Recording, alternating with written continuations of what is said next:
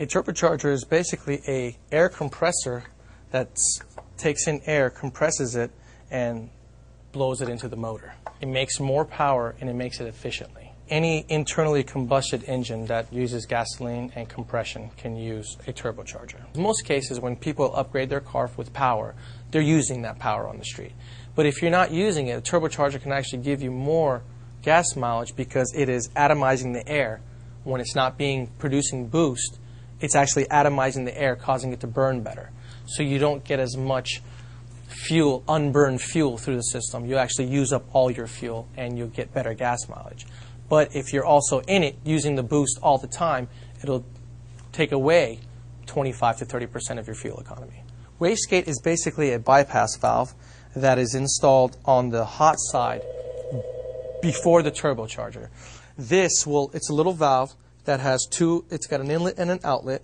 Um, exhaust gas is coming here before the turbo, and this will regulate how much the wheel, the turbine wheel and the turbo spins. When you're turbocharging a motor, this is what's going to come off. This is a stock exhaust manifold that typically comes from the head where the exhaust is, goes down and hooks up to your exhaust and goes out the back of the car. We take this off and replace it with a turbo, which this is the hot side of the turbo. You replace that manifold with this manifold, a log manifold that the turbo sits on.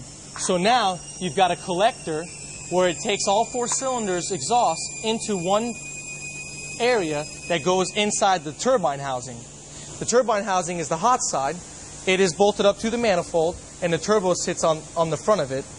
You have the exhaust coming out the back, and here's the wastegate, basically the gate we talked about, the bypass valve, that's before the turbo on the bottom side of the manifold, and that just happens to be the way this manifold is set up. The only limit to power is how much fuel you can deliver to the motor and how well you can build the motor to handle the power.